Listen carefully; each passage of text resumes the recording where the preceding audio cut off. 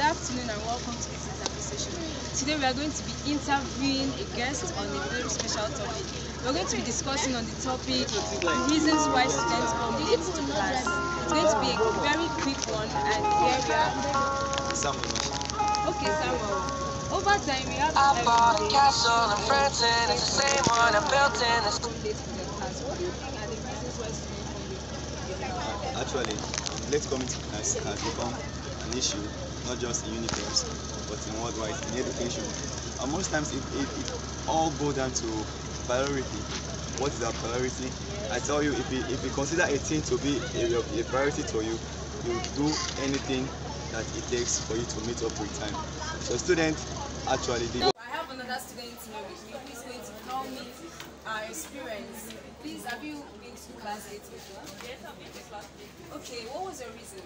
Oh, my reason was uh, I up in the morning feeling so much tired, exhausted.